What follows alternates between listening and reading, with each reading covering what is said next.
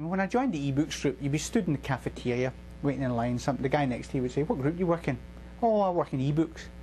And the standard answer at the beginning, or standard question at the beginning was, Do you think anybody's ever going to read a whole book on a screen? Right?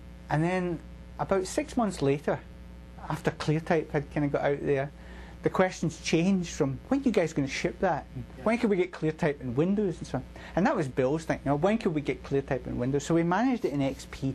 It was a somewhat compromised one because we had to we, we were the guys in XP wanted to support backwards compatibility, so the metrics had to be altered a little bit, and it wasn't as good.